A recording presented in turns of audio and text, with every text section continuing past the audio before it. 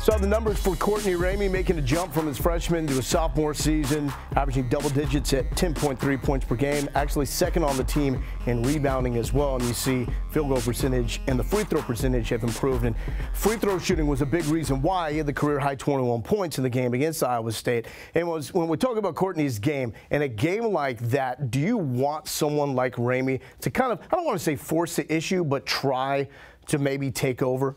Well, when the, the game is, is going the way it was, you need aggressiveness, and you need it from, from all areas. So for Courtney to step forward and, you know, play aggressively, attack the basket, get to the foul line, really is, is what we need for our team. Well, let's get into his game now, and we'll start with his ability to score. And this is a good blend of aggressiveness, him getting to the hoop, and also showing out, showing off his outside shot. Well, he's a guy that you know coming out of high school was able to score and also create for other people. And we want him to get in the paint, as you see here against Kansas, get to the basket. We want him to finish. Uh, we want to put him in positions where he's using the pick and roll, attacking. There you see him going attacking the closeout, getting to the basket. He's a creator. You know, he's a guy that's good at creating again for himself and other people. And if the defense backs off of him, shooting a jump shot. Where do you think on the court he's at his best?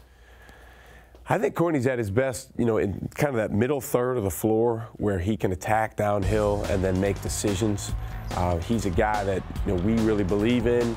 He's still in the progression. You know, he's two thirds, three quarters of the way through his sophomore year. We think by the time he gets to his junior year, his senior year, he's going to be a completely different player. But he has made major progress from his freshman year. And could be time where he's running the point, perhaps, when the career of Matt Coleman eventually comes to an end. And, and that's something that you alluded to that he did in his high school uh, days. So let's go into that with Courtney about him being the distributor, playing some point guard. Well, even playing with Matt, there's times where we want him, the ball in his hands. He, he did terrific in this game at Iowa State.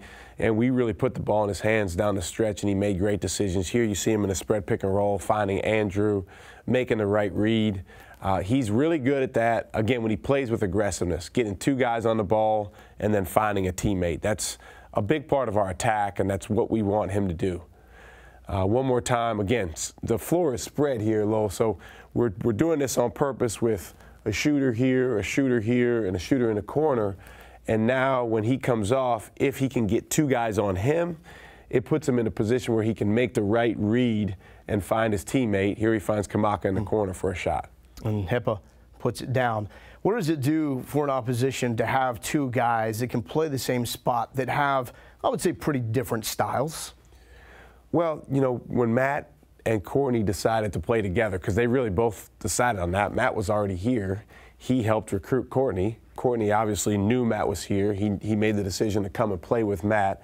That's pretty cool when you see that. Uh, first of all, those guys get, really, get along really well off the court. Like you said, they're night and day in terms of their personalities and in terms of their games. Uh, but I think the thing that they have in common is they have a mutual respect for each other and they try to push each other to be better. Pushing it. That's what Ramey seems like he's always doing on the court. Nonstop hustle, that grit that's very obvious. These are some examples of just the way he attacks the game. Well, he's a guy, when he loses himself in competing, there's not a better guy at going after the win. Uh, you know, that's something that we're trying to create in him all the time. Just losing yourself. Here you see him on the defensive end, playing with great aggressiveness, getting his hands on the ball, leading to a run out. Again, on the defensive end, he did a terrific job in this game against Kansas State of moving his feet, playing aggressively, getting his hands on the basketball. He had a season high in deflections in that game, which, as you know, is a huge uh, area of importance for us. He's defended on the ball and he's defended off the ball.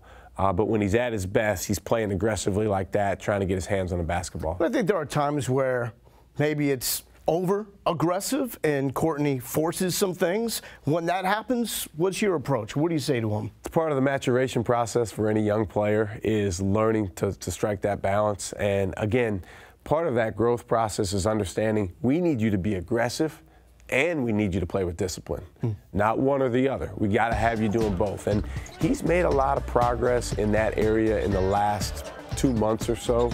Uh, still another notch or two that he can take, but I like the way that, that, that he attacked in our last game and said, hey, I've got to be the aggressor in this game for my team. What do you appreciate the most about Courtney as a young man? You know, this is actually a, it's a unique thing. The thing that I appreciate most about him is after a tough result, uh, whether it's a loss or if he doesn't play as well as, as he expected to play or we need him to play, he has a really good ability to self reflect and, and gain some humility from that. And that's unique. That's, that's, that's rare, especially at this age.